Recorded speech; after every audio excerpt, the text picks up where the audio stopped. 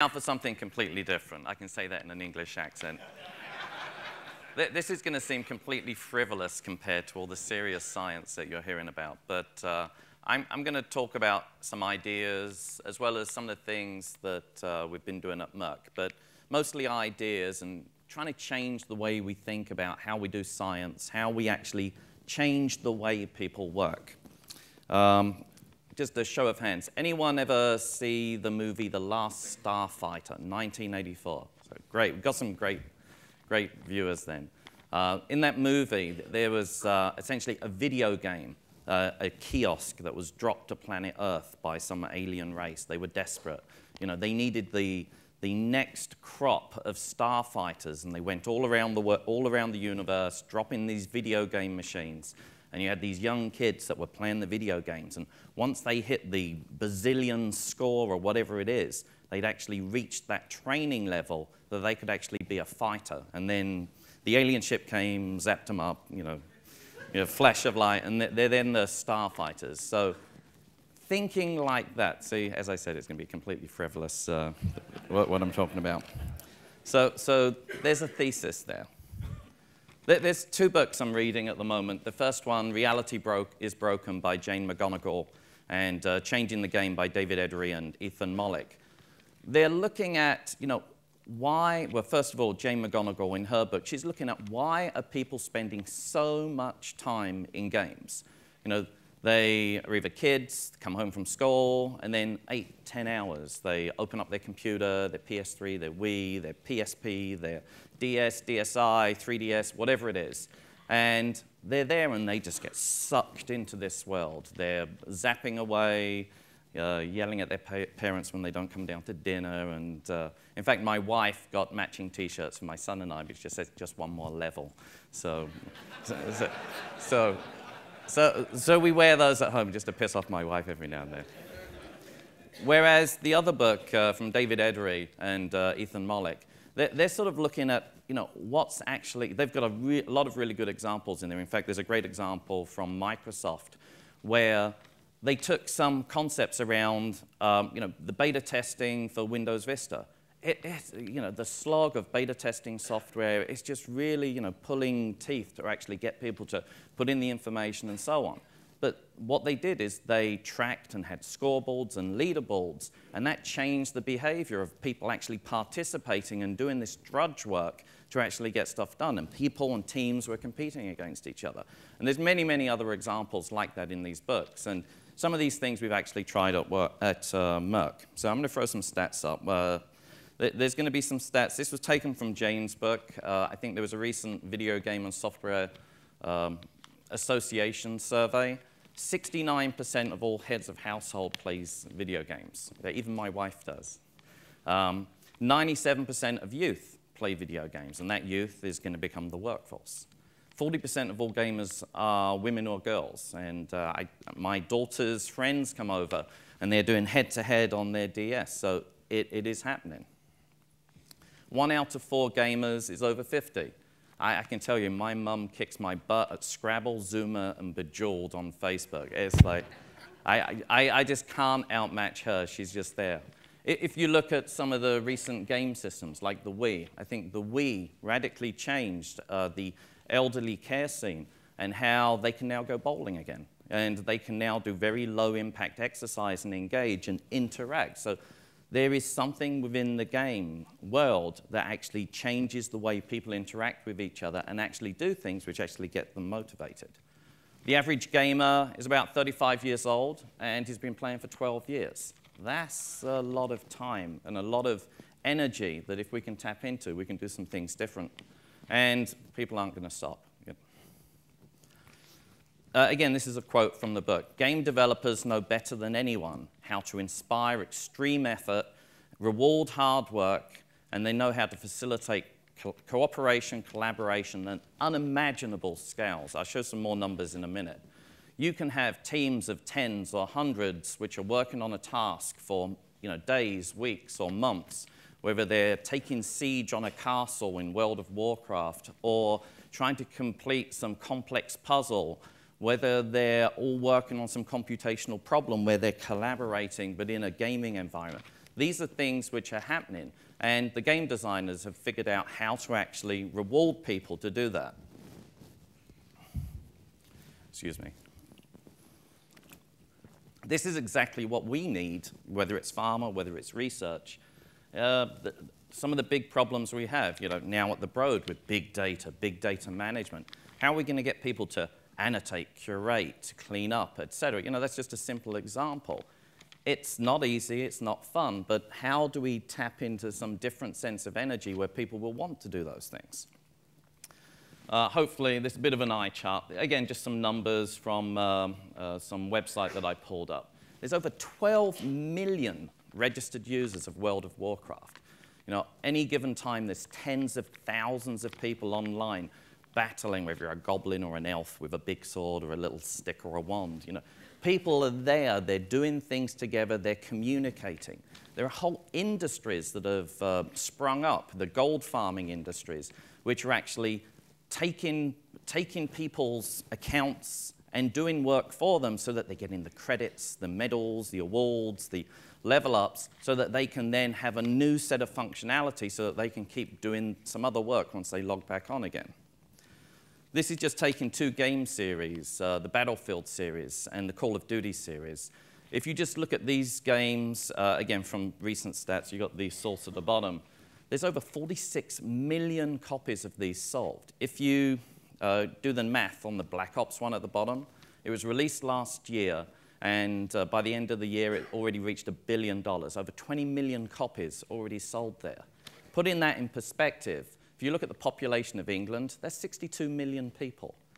This, this is a whole country. You know, this is just a mass of a workforce, and they're getting something out of living in this escaped world doing a lot of tasks and just doing work, and that's, that's what we need. Ribbons, medals, ranks, oh my. What, what are all these different motivators? What are these different levers which the game designers have learned to put in front of people? There's proficiency badges. You do something for a certain amount of time. You're level one, level two, level three. You're a private, you're a sergeant, you're a master sergeant. People, people communicate with each other, and it's like, well, I'm a level five something something goblin, and I've got this magic spell people use these as status symbols within their own little worlds, their guilds, their clans, whatever. And, you know, typically we look at the citation index, and that's sort of our measure of success. How many papers have we published and how many people cited us? But if you look, so here I've just pulled up some reward motivation curves. On the left-hand side, this is if you plot just a reward motivation curve. When do you level up? Just looking at XP and levels you see this continuous reward uh, motivation curve in these video game worlds. Uh, it, it's very similar. I took a different couple of different games, and it's a very, very similar curve. It's very, very easy at first. You hook them in, you give them the candy, and it gets harder and harder and harder. Whereas on the right-hand side, I just plotted a typical. this isn't my career, by the way. Hopefully not. So a typical 20-year career where if you're lucky, you know, every four to five years you level up and you get to the next level, you get a new set of decision rights, a new set of problems, and so on. And you have your annual review, and this is how we reward people. And if you're lucky, if you're in a, a culture of a company where someone says, you did a great job, here's $100, or here's a, here's a little medal, um, a certificate of appreciation, or whatever, you know, some, some groups are better at appreciating people and constantly rewarding, constantly reinforcing. Um, yeah, so some are better. So what would you prefer? You know, continuous reward, recognition, improvement, or would you want something on the right? That's what we do. We do the stuff on the right. But the people in the video game worlds, they know how to design things to constantly entice people and whether you're on the Facebooks and you're playing the Zynga games, or whether you've got your iPads or iPods and you're buying additional credits or energies or whatever to keep, keep using and keep playing some game, people know even how to take money out of us to entice us to keep doing, keep getting to the next level. For those Girl Scouts or Cub Scouts out there, merit badges, you know, we, we like to wear, you know, what have we done and what have we achieved? people are thinking, you know, there's a whole bunch of IT guys out there. There's nerd med, med, med sorry, I can't talk. Nerd merit badges and nerd sashes. There's the I can keep a zero inbox. I, can fi I fix all my, uh, my family's uh, computers, which everyone tends to do.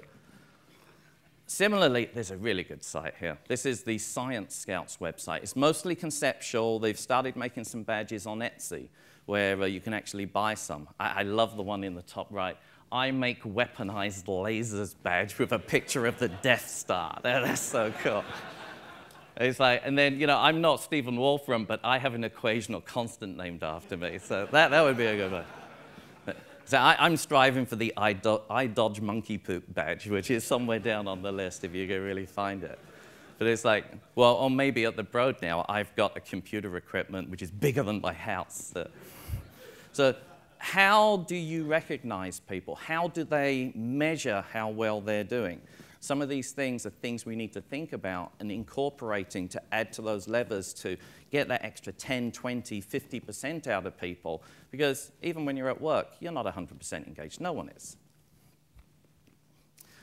Foldit. Most of you have probably heard of Foldit from WashU. Uh, it's very, very interesting.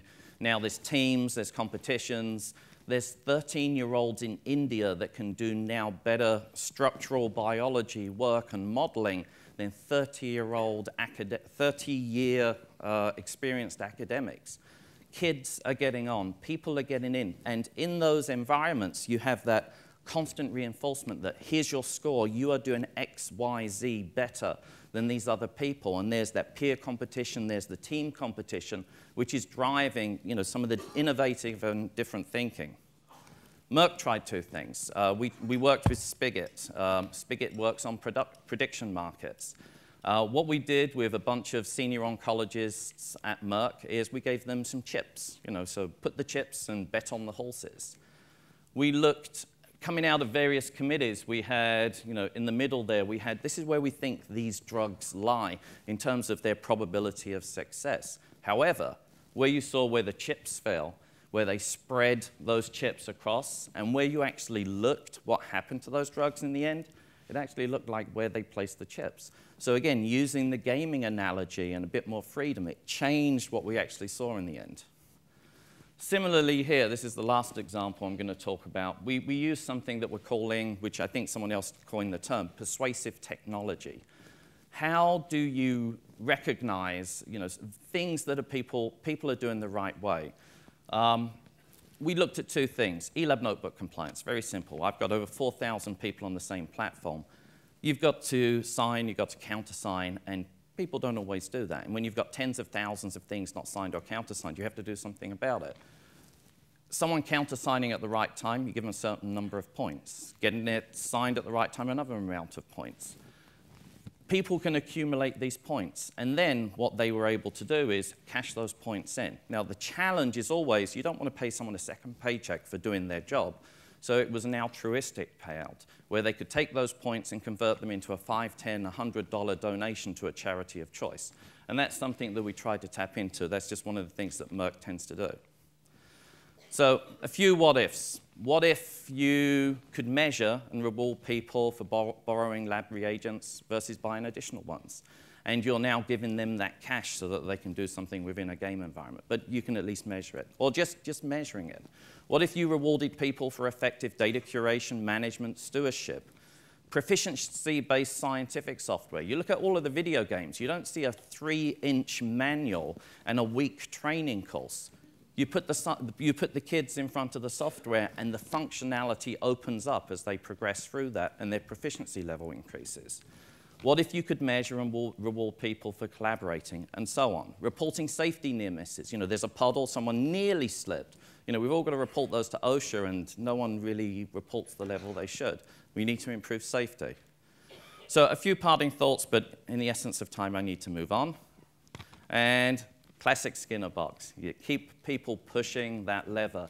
You want them eliciting the behavior. So there's many different things that we need to measure, we need to track, we can, and it's putting the right motivations in front of people. And that's some of the things that we, we started to try with Merck, and uh, we're, we're going to see how that works.